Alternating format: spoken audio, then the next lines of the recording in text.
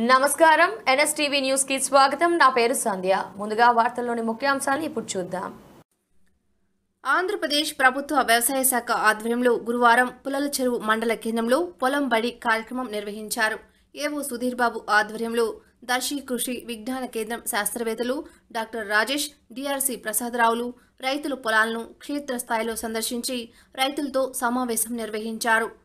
సమగ్ర సస్యరక్షణ చర్యలపై విస్తృత అవగాహన కల్పించారు. రైతాంగం కోసం ప్రభుత్వం అమలు చేస్తున్న సంక్షేమ పథకాలను సద్వినియోగం చేసుకోవాలన్నారు. ఈ కార్యక్రమంలో రైతు భరోసా కేంద్రం సహాయకులు రైతులు వాలంటీర్లు పాల్గొన్నారు. రైతు వాళ్ళకి అందరికీ నమస్కారం అండి. ఈ పుల్లల చెరువు మండలం ఇప్పుడు వివిధ పొలాల్లో సందర్శించడం జరిగిందండి. సో మనకి కంది కానీ అలాగే పెసర మినుము పత్తి అలాగే మిర్చి పంటల్లో మనకి ఇప్పుడు ప్రధానంగా ఏ పురుగులు ఉన్నాయి సో దాన్ని ఎలా నివారించుకోవాలని మనం చూసుకుందామండి. సో ప్రధానంగా ఏంటంటే ఇప్పుడు కందిలో వచ్చేసరికి మనకి ఎటువంటి పురుగులు ఇప్పుడు నష్టం కలగజేవి కాబట్టి ప్రధానంగా ఏంటంటే ఈ వెర్రి తెగులు అనేది మనకి కందులో ఎక్కువగా చూస్తుంటామండి. ఆ వెర్రి తెగులు అనేది మనకి యాభై నుంచి అరవై రోజులు దశలో ఉండే కందిలో వస్తుంటది మనకు. ఆ రైస్ సోదులు అక్కడ ఆకులు మనకి పసుపచ్చగా మారడం అలాగే ఆకులపైన చుక్కలు కనపడితే వెంటనే మనకు నివారించుకోవడానికి ఆ ఆకులు లేకుంటే కొమ్మలను కూడా కత్తిరించడము లేకుంటే ఆ పంట మొత్తం తీ పంట అంటే మనకి ఆ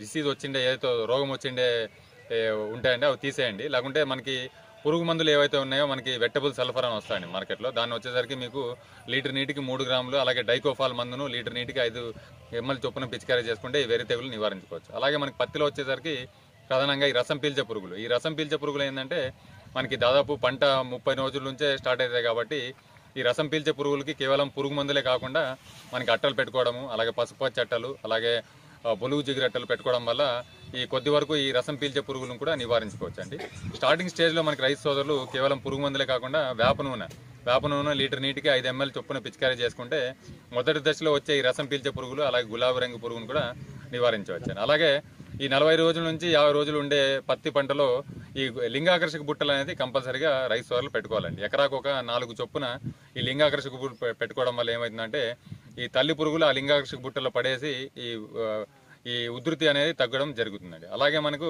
రైస్ వాళ్ళు మిర్చిలో మిర్చిలో ఏంటంటే మనకు దాదాపు ఇరవై నుంచి ముప్పై రోజులు పంట ఉంది కాబట్టి ఈ కంపల్సరీగా మనకి ఈ పసుపచ్చ జిగురట్టలు అలాగే బులుగు జిగట్టలు ఎకరాకు ఒక ఇరవై చొప్పున మొక్కకు అడుగు పైన పెట్టుకుంటే ఏంటంటే ఈ లింగాకర్షక బుట్టలు కాకుండా ఈ జిగురెట్టలకి మనకి తెల్లదోమ కానివ్వండి అలాగే ఈ తామర పురుగు కానీ దానికి అంటుకోవడం జరుగుతుంది కాబట్టి ఈ ఒక బొబ్బర తెగులను కూడా మనము నివారించుకోవచ్చు అలాగే మనకి ఈ మిర్చిలో కూడా ఈ వేప నూనె మొదటి దశలో ఇరవై నుంచి ముప్పై రోజులు ఉండే దశలో ఈ వేప నూనె పిచికారీ చేయడం వల్ల కూడా మనకి ఈ రసం పీల్చే పురుగులు పెడదని కూడా మనము నివారించుకోవచ్చు